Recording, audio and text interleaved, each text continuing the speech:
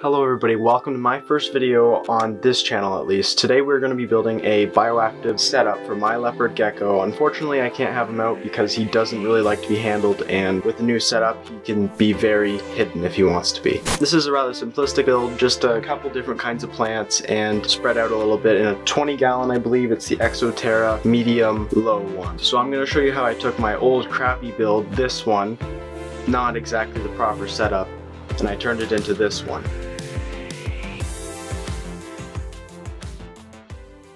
So for this build I was using magnolia leaves, moss, springtails, powder blue isopods, some custom rocks that I had made up, peperomia hope, aloe vera barbadensis, there's little helio there, Zoo Med reptisoil, Zoo Med excavator clay, sphagnum moss, and forest moss. Not a whole lot of that, use that for the humid hides, and we'll just get into the build now.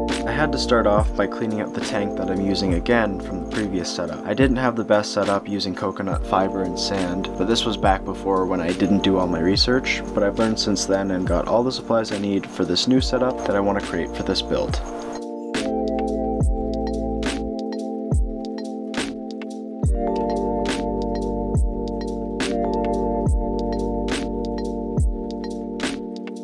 Part is pretty straightforward, just following the directions of the excavator clay, meanwhile trying to keep the house from becoming a dusty desert.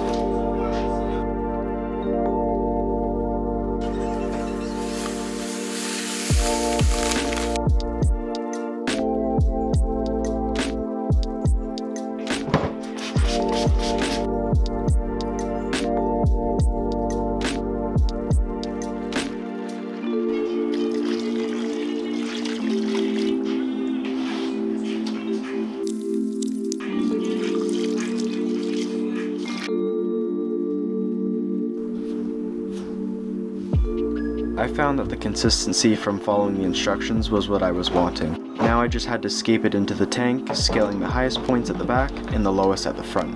And I actually broke the measuring cup doing this, clearly not thinking.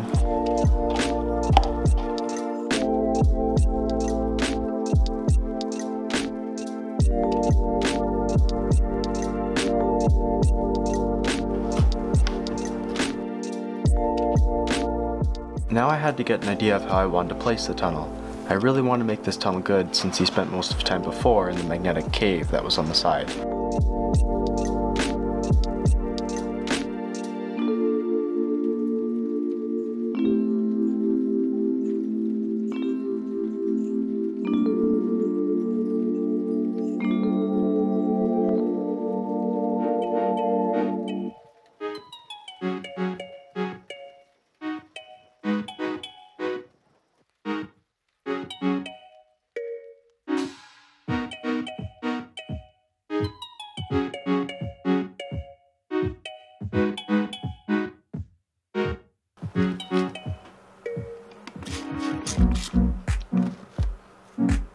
Here is where I add the forest, sphagnum, and moss I was propagating.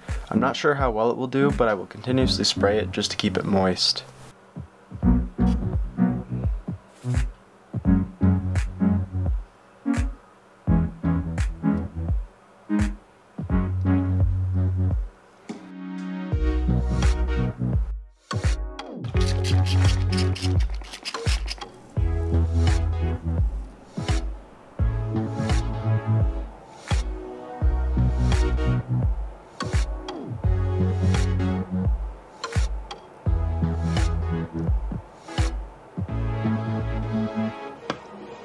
Creating the tunnel and keeping the rocks in place, I wet the clay and molded it around everything just to lock it in place.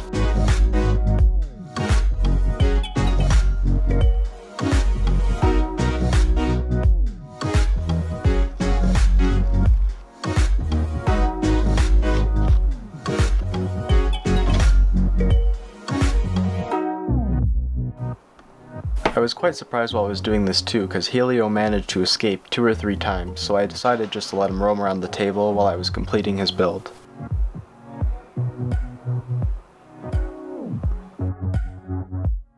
I find it best to anchor the plants to a more sturdy structure in the tank due to the lizard just climbing all over it and inevitably wrecking the plant. Dealing with the plants was probably the hardest part. I would recommend making like a deep pot out of the excavator clay for the plants to burrow into.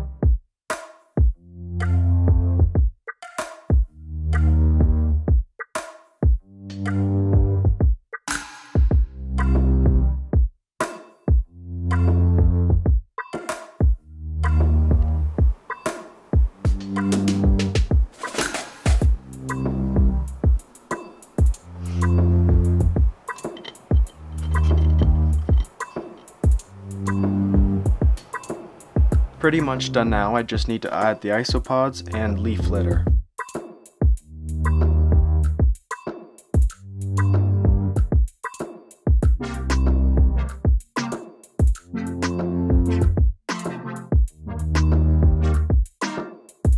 Lastly, have to add in Helio, but after a few days to give the plants and cleanup crew some time to establish.